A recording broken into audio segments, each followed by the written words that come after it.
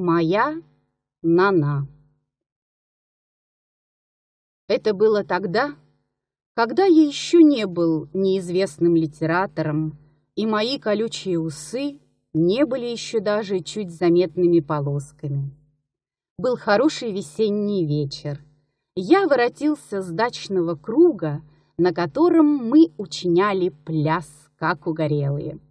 В моем юношеском организме, выражаясь образно, камня на камне не было, восстал язык на язык, царство на царство. В моей отчаянной душе раскалялась и бурлила наиотчаяннейшая любовь. Любовь была жгучая, острая, дух захватывающая, первая, одним словом. Влюбился я в высокую статную барыньку лет двадцати трех, с глупеньким, но хорошеньким личиком, с чудными ямочками на щеках. Влюбился я и в эти ямочки, и в белокурые волосы, которые кудряшками падали на красивые плечи из-под широкополой соломенной шляпки.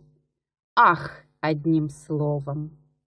Воротясь с круга, я повалился на свое ложе и застонал, как пришибленный. Через час я сидел за столом и, дрожа всем телом, изморав целую десять бумаги, сочинял письмо следующего содержания. «Валерия Андреевна, я знаком с вами очень мало, почти не знаком, но это не может послужить мне препятствием на пути к достижению намеченных мною целей. Минуя громкие фразы, я прямо приступаю к цели. Я люблю вас. Да, я люблю вас и люблю больше жизни. Это не гипербола. Я честен, тружусь. Следует длиннейшее описание моих доблестей. Жизнь моя мне недорога. Не сегодня, так завтра.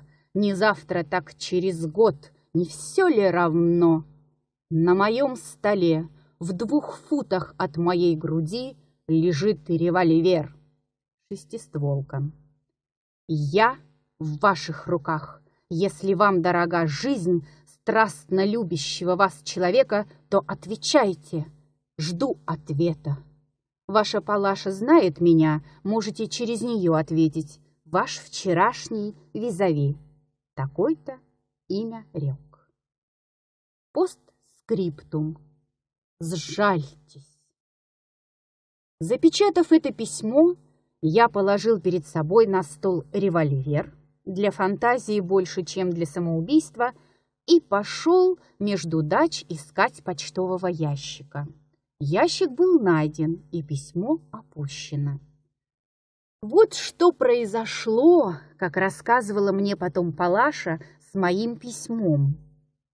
На другой день утром, часов в одиннадцать, Палаша после прихода почтальона положила мое письмо на серебряный поднос и понесла его в спальную хозяйки.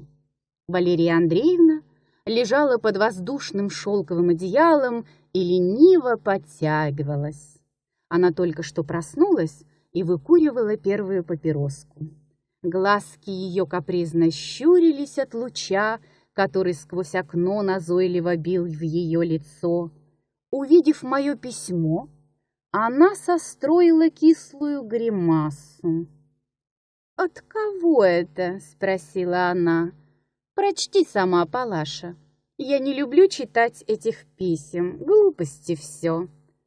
Палаша распечатала мое письмо и принялась за чтение. Чем больше углублялась она в чтение моего сочинения, тем круглее и шире делались глаза ее госпожи. Когда она дочитала до револьвера, Валерия Андреевна раскрыла рот и с ужасом поглядела на Палашу. «Что это значит?» — спросила она, недоумевая. Палаша прочла еще раз. Валерия Андреевна замигала глазками.